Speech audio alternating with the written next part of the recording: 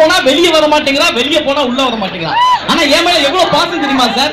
Shooting முடிச்சிட்டு எத்தனை மணிக்கு வீட்டுக்கு போனாலும் எனக்காக சாப்பிடாம காத்துக்கிட்டு இருப்பான். நல்ல கைத்தட்டல் கொடுக்கலாம்.